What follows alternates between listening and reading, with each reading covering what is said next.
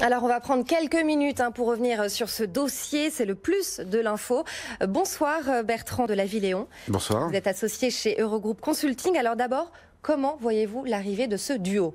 Bah écoutez, je pense que c'est une très bonne nouvelle parce que ça tourne une page euh, d'un feuilleton qui avait duré depuis deux mois et sur lequel il était important euh, à la fois pour les partenaires de l'Alliance et pour Renault de, de constituer une, une, gouvernance qui soit en mesure de pouvoir conduire les affaires et de prendre des décisions stratégiques pour les, pour les mois et les années qui viennent. Alors l'Alliance sans Carlos Ghosn à sa tête, euh, qu'est-ce qui va changer c'est le début d'une nouvelle ère, ok, mais qu'est-ce qui va changer? Ah bah Écoutez, y a, alors il y a un, certain nombre de chantiers, euh, je dirais, devant devant ce binôme, hein, des chantiers à court et à moyen terme et à long terme. Le chantier prioritaire, c'est de rétablir, euh, des relations de confiance entre les partenaires de l'alliance, euh, et Renault et Nissan en particulier. On va ouvrir une phase, je pense, euh, d'apaisement aujourd'hui. Chacun montre des signes d'apaisement, que ce soit de côté de Nissan ou de côté Renault. Donc tout ça est de bon augure pour constituer, reconstituer cette relation de confiance.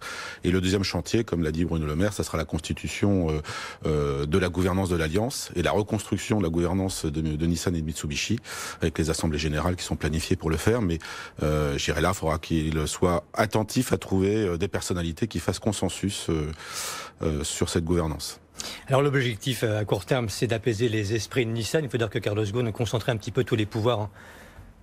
Donc oui, l'arrivée de ce tandem devrait permettre donc d'apaiser donc les esprits entre Nissan et, bien sûr Renault. Bien sûr, bien sûr, je pense que ça y participe. Euh, d'ailleurs, vous voyez que les, communiqués sont assez positifs dans ce sens-là. En fait, recherche l'apaisement mhm. et la construction d'une nouvelle, d'une nouvelle, qui, voilà. qui est salué par par Nissan aujourd'hui. Tout à fait, tout à fait.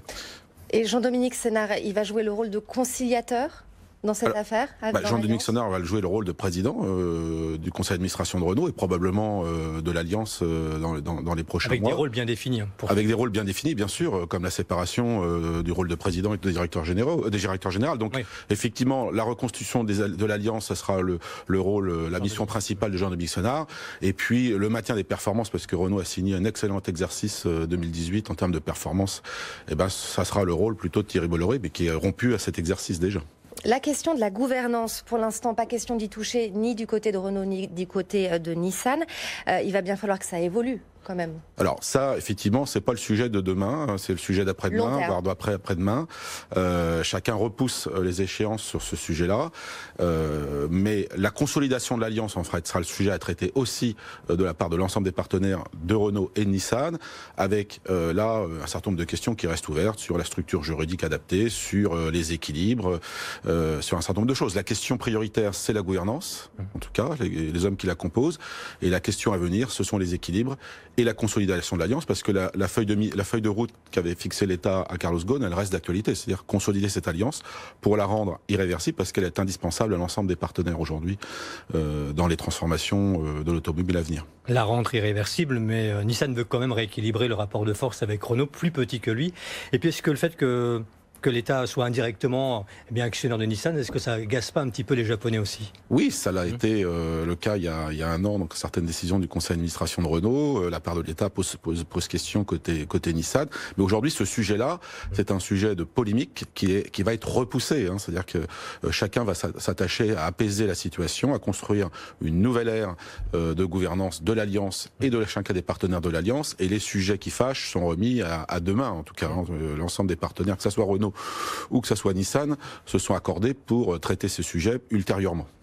Et l'objectif euh, de Renault sur le plan euh, du marché, ça va être de confirmer aussi la stratégie de l'électrique? Alors, en fait, l'objectif de Renault aujourd'hui, c'est poursuivre euh, son plan stratégique euh, Drive de Futur, hein, qui est le plan 2017-2022, donc euh, dont d'ailleurs Thierry Bolloré avait une, une cheville ouvrière de ce, de ce plan. Donc, la continuité va être assurée. Alors, ce plan est assuré et ses performances sont à maintenir dans une situation où il y a quelques vents contraires hein, quand même en, ce moment. Donc, à la fois des, des je dirais des, des, marchés qui, qui s'affaiblissent, des tensions sur les relations commerciales, les incertitudes liées au Brexit, les normes d'émissions de CO2 qui vont se renforcer tout ça euh, rendra euh, l'atteinte du plan euh, du plan Drive de futur en 2022 un vrai challenge pour pour Thierry Bolloré. Merci beaucoup Bertrand de la Villéon. Je rappelle que vous êtes associé chez Eurogroup Consulting. Merci, bonne soirée.